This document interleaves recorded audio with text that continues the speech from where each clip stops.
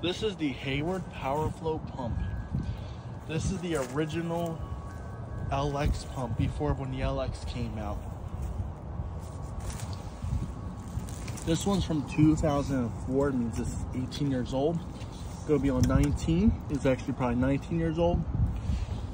When the screws are stripped out, this probably works. All metal, you can't find pumps like these anymore. This thing's built to last. Just from its size. This one's a non, this one's not that powerful. This one's a 3 slash 4. They went up to a 1 HP.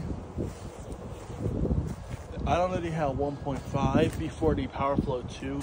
Yeah, I think they also had the, had the Power-Flo 2. That's what the center discharge. This is the original pump. This cord was added on there. These pumps are really good pumps. They are built to last. When you compare to like the cheap Intex ones, they well compared to the cheap knockoff brands like Extreme Power US, those motors burn out. If you have this one making a weird sound, there's a circuit, there's like an overload protection on this pump means it would trip. They don't make pumps like these anymore. These are designed to build to last.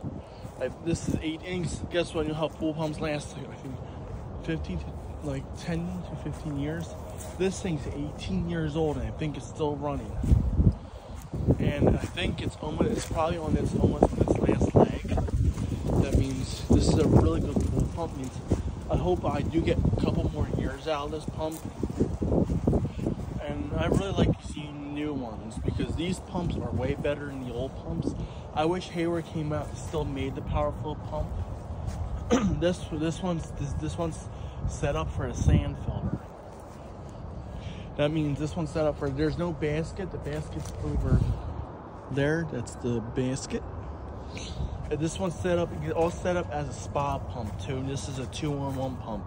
That's gonna be it for the video.